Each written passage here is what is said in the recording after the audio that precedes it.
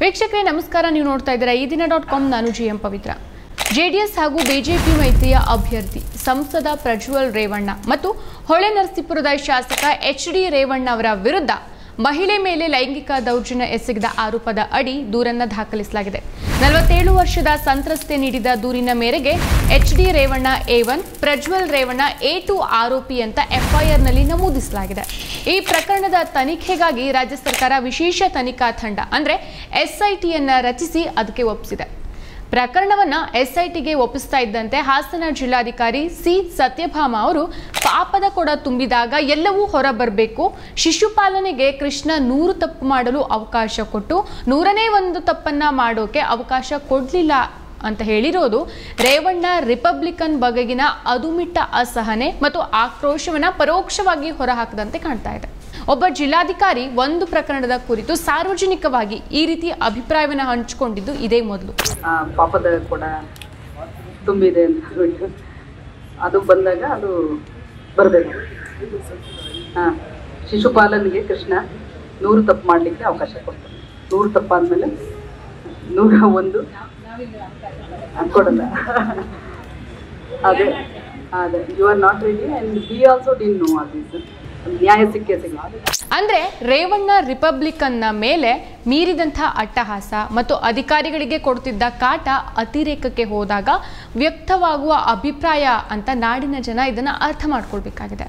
ಹಾಸನ ಜಿಲ್ಲೆಯಲ್ಲಿ ರೇವಣ್ಣ ರಿಪಬ್ಲಿಕನ್ ಈ ಮಟ್ಟಿಗಿನ ಅಟ್ಟಹಾಸ ಮತ್ತು ಅತಿರೇಕಕ್ಕೆ ಹೋಗಲು ಎಚ್ ಡಿ ದೇವೇಗೌಡ ಅವರ ಪುತ್ರ ಪ್ರೇಮ, ಕುಟುಂಬ ಪ್ರೇಮವೇ ಕಾರಣ. ಹರದನಹಳ್ಳಿಯ ಬಡ ಬೇಸಾಯಗಾರನ ಮಗನಾಗಿದ್ದ ಗೌಡರು ಸಾವಿರದ ಒಂಬೈನೂರ ಅರವತ್ತೆರಡರಲ್ಲಿ ತಾಲೂಕು ಬೋರ್ಡ್ ಮೆಂಬರ್ ಆಗೋ ಮೂಲಕ ರಾಜಕಾರಣಕ್ಕೆ ಕಾಲಿಟ್ಟವರು. ಜನರಿಂದ ನಾಯಕನಾಗಿ ಹೊರಹೊಮ್ಮಿದವರು. ಹಳ್ಳಿಯಿಂದ ದಿಲ್ಲಿಗೆ ದಾಪುಗಾಲು ಹಾಕಿದವರು. ಬಡ ಬೇಸಾಯಗಾರನ ಮಗನೊಬ್ಬ ಪ್ರಧಾನಿಯಾಗುವ ಮೂಲಕ ಪ್ರಜಾಪ್ರಭುತ್ವದ ಆಶಯವನ್ನ ಸಾಕಾರಗೊಳಿಸಿದವರು. ಇಂತಹ ದೇವೇಗೌಡ ಅವರು ಈಗ ತೊಂಬತ್ತರ ಇಳಿ ಸಂಜೆಯಲ್ಲಿದ್ದಾರೆ. ಅಧಿಕಾರ ರಾಜಕಾರಣದ ಎಲ್ಲ ಹಂತಗಳನ್ನ ಕಣ್ಣಾರೆ ಕಂಡಿದ್ದಾರೆ, ಅನುಭವಿಸಿದ್ದಾರೆ. ಘನ ವ್ಯಕ್ತಿತ್ವಕ್ಕೆ ಉದಾಹರಣೆಯಾಗಿದ್ದಾರೆ. ಹೀಗಿದ್ದ ಗೌಡರು ಲೋಕಸಭಾ ಚುನಾವಣೆಗೂ ಮುಂಚೆ ಬಿಜೆಪಿಯೊಂದಿಗೆ ಮೈತ್ರಿ ಮಾಡಿಕೊಂಡ್ರು. ಆಗ ರಾಜಕಾರಣದಲ್ಲಿ ಮೈತ್ರಿ ಸಾಮಾನ್ಯ ಅಂತ ಎಲ್ಲರೂ ವ್ಯಾಖ್ಯಾನಿಸಿದ್ರು. ತತ್ವ ಸಿದ್ಧಾಂತ ಬಿಟ್ಟರು ಅದು ಅವರ ಆಯ್ಕೆ ಅಂತ ಸುಮ್ಮನಾದ್ರು ಆದರೆ ಮೈತ್ರಿಯ ಹಿಂದೆ ಪುತ್ರ ಪ್ರೇಮ, ಕುಟುಂಬ ಪ್ರೇಮದ ವಾಸನೆ ಹೊಡೆಯತೊಡಗಿದಾಗ ಧೃತರಾಷ್ಟ್ರ ಸಿಂಡ್ರೋಮ್ ಅಂದ್ರು. ದ್ರೌಪದಿಯನ್ನ ಸಾರ್ವಜನಿಕವಾಗಿ ವಸ್ತ್ರಾಪಹರಣ ಮಾಡಿದಾಗ ಮೌನವಾಗಿದ್ದ ಕುರುಡು ರಾಜ ಧೃತರಾಷ್ಟ್ರನಂತೆ ಭಾರತದ ರಾಜಕಾರಣದಲ್ಲಿ ಈ ಧೃತರಾಷ್ಟ್ರ ಸಿಂಡ್ರೋಮ್ಗೆ ಬಲಿಯಾಗಿ ತಮ್ಮ ಸ್ವಂತ ಸಂತತಿಯ ವಿರುದ್ಧ ನೈತಿಕ ನಿಲುವು ತಾಳದೆ ವಿಫಲರಾದವರ ದೊಡ್ಡ ಪಟ್ಟಿನೇ ಇದೆ. ಸಂಜಯ್ ಗಾಂಧಿಯಿಂದ ಇಂದಿರಾ ಗಾಂಧಿ ನಾಶವಾಗಿದ್ದು, ಅಳಿಯನ ಆಟಾಟೋಪಕ್ಕೆ ಅರಸು ಬಲಿಯಾಗಿದ್ದು, ಪುತ್ರ ವಿಜಯೇಂದ್ರನ ದುರಾಸೆಗೆ ಯಡಿಯೂರಪ್ಪ ಅಧಿಕಾರ ಕಳ್ಕೊಂಡಿದ್ದು. ಬೇಕಾದಷ್ಟು ಉದಾಹರಣೆಗಳನ್ನು ಕೊಡಬಹುದು ಈಗ ಈ ಪಟ್ಟಿಗೆ ಮೊಮ್ಮಗ ಮತ್ತು ಮಗನ ಮೇಲಿನ ಮೋಹದಿಂದಾಗಿ ಎಚ್ ಡಿ ದೇವೇಗೌಡ ಅವರು ಕೂಡ ಸೇರ್ಕೊಂಡಿದ್ದಾರೆ. ಮಹಾಭಾರತದಲ್ಲಿ ಕೌರವನ ತಂದೆ ಧೃತರಾಷ್ಟ್ರ ಕುರುಡ. ಆತನಿಗೆ ತನ್ನ ಮಕ್ಕಳು, ತನ್ನ ಕುಟುಂಬ, ತನ್ನ ಸಿದ್ಧಾಂತ, ತನ್ನ ಮಾತು, ತನ್ನ ಧರ್ಮ. ತನ್ನದು ಅಂತ ಅಂದ್ಕೊಂಡಿರುವ ಎಲ್ಲವನ್ನ ತನ್ನ ತೆಕ್ಕೆಗೆ ತೆಗೆದುಕೊಳ್ತಾ ಹೋಗೋದೆ ಧೃತರಾಷ್ಟ್ರ ಪ್ರೇಮ. ಆತ ನಿಜವಾಗಿ ಕುರುಡನೋ, ಆ ಪಾತ್ರದ ವಿಶೇಷ ಹೇಳಲು ಬಯಸಿದ ರೂಪಕವೋ ಅಂತೂ ಧೃತರಾಷ್ಟ್ರ ಪ್ರೇಮ ಅನ್ನೋದು ತಮ್ಮದರ ಮೇಲಿನ ಮೋಹಕ್ಕೆ ಒಂದು ಸಂಕೇತವಾಗಿ ಬಳಸಬಹುದು. ಇಂತಹ ಮೋಹಕ್ಕೆ ಬಲಿಯಾದಂಥ ದೊಡ್ಡಗೌಡರು ತಮ್ಮ ಮಕ್ಕಳು, ಮೊಮ್ಮಕ್ಕಳು ಮಾಡಿದ ಕರಾಳ ಕೃತ್ಯವನ್ನು ಮುಚ್ಕೊಳ್ಳೋಕೆ ಮೈತ್ರಿಗೆ ಮುಂದಾಗ್ತಾರೆ. ಬಿಜೆಪಿ ಕೊಳಕರನ್ನ ತೊಳೆಯುವಂಥ ವಾಷಿಂಗ್ ಮಷಿನ್ ಅಂತ ನಂಬಿಟ್ರು.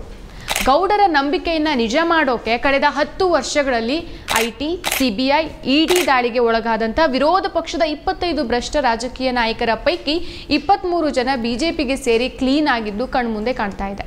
ದಿಲ್ಲಿಯ ಮಹಿಳಾ ಕುಸ್ತಿಪಟುಗಳ ಆಕ್ರಂದನಕ್ಕೆ ಮೋದಿಯ ಕಿವಿ ಕಿವುಡಾಗಿತ್ತು.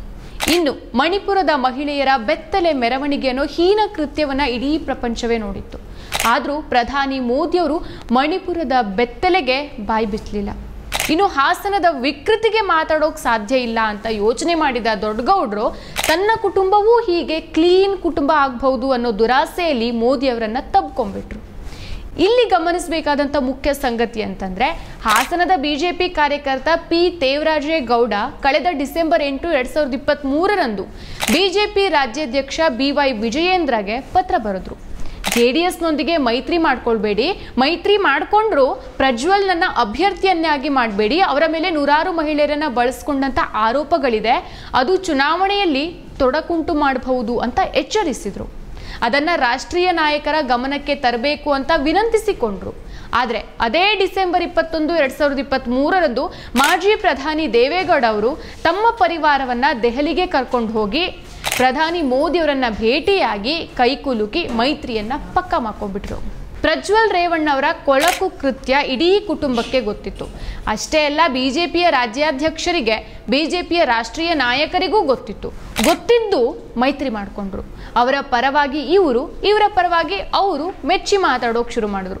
ಗೆದ್ರೆ ಎಲ್ಲಾನು ಮುಚ್ಚೋಗತ್ತೆ ಅಂತ ಭಾವಿಸಿದ್ರು, ಆದರೆ ಪಾಪದ ಕೊಡ ತುಂಬಿತ್ತು ತುಳ್ಕೋದಷ್ಟೇ ಬಾಕಿ ಇತ್ತು. ಭಾರತದ ಕುರುಡು ಪ್ರೀತಿಯ ಪಿತಾಮಹರು ಅಪರಾಧದ ಸಂತಾನವನ್ನ ಕಾನೂನಿನಿಂದ ರಕ್ಷಿಸುವ ಪೋಷಕರು ಇರುವ ತನಕ ಸಾಂವಿಧಾನಿಕ ಮೌಲ್ಯಗಳು, ಕಾಯ್ದೆ ಕಾನೂನುಗಳು ಉಲ್ಲಂಘನೆಯಾಗ್ತಾನೆ ಇರತ್ತೆ. ಹಾಸನದ ಮಣ್ಣಿನಿಂದ ಎದ್ದು ಬಂದ ದೊಡ್ಡಗೌಡ್ರಿಗೆ ಮಣ್ಣಿನ ಮಗ ಅನ್ನೋ ಬಿರುದಿದೆ. ಆ ಬಿರುದಿಗೆ ಬೆಲೆ ಕೊಟ್ಟು ತಮ್ಮ ಸಂತಾನವನ್ನ ರಕ್ಷಿಸುವ, ಕಾನೂನನ್ನ ಉಲ್ಲಂಘಿಸುವ ಕೃತ್ಯಕ್ಕೆ ಕೈ ಹಾಕದೇ ಇರಲಿ. ಬದಲಿಗೆ ಹೀನ ಕೃತ್ಯಕ್ಕೆ ಬಲಿಯಾದ ನೂರಾರು ಬಡ ಅಸಹಾಯಕ ಸಂತ್ರಸ್ತೆಯರ ಪರ ನಿಂತು ನ್ಯಾಯ ಕೊಡಿಸುವ ಕೆಲಸ ಮಾಡಲಿ. ನಿಜ ಮಣ್ಣಿನ ಮಗನಾಗಿ ಜನಮಾನಸದಲ್ಲಿ ಉಳಿಯಲಿ. ಮತ್ತಷ್ಟು ವಿಶೇಷ ವಿಡಿಯೋಗಳನ್ನು ನೋಡಲು ಮತ್ತು ಹೊಸ ವಿಡಿಯೋಗಳ ಬಗ್ಗೆ ತಿಳಿಯಲು ಈ ದಿನ dot com YouTube channel subscribe ಮಾಡಿ ಮತ್ತು ಬೆಲ್ ಐಕಾನ್ ಕ್ಲಿಕ್ ಮಾಡಿ.